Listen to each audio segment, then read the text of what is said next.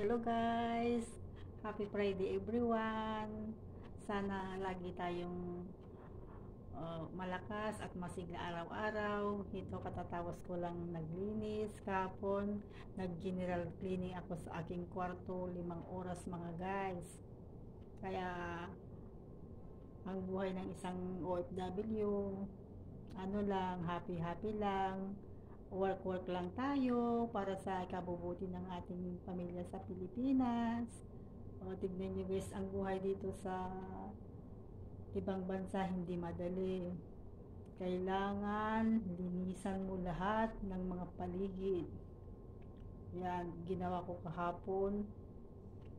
Inano ko ng sabon at saka ninagyan ko ng dito yan sa mga ganyan o. Paligid para malinis at masatingnan nyo ang aking kwarto. Yan guys. Hindi ba malinis na?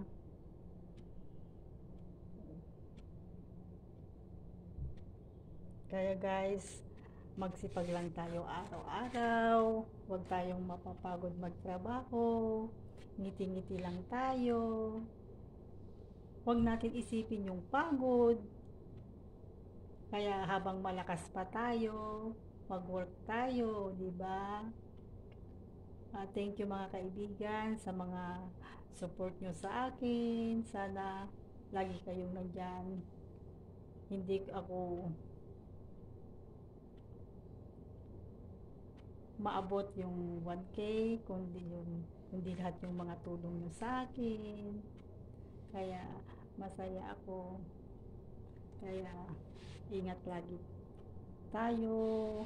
Happy-happy lang para ang buhay ay masaya. Bye-bye na guys. I love you all.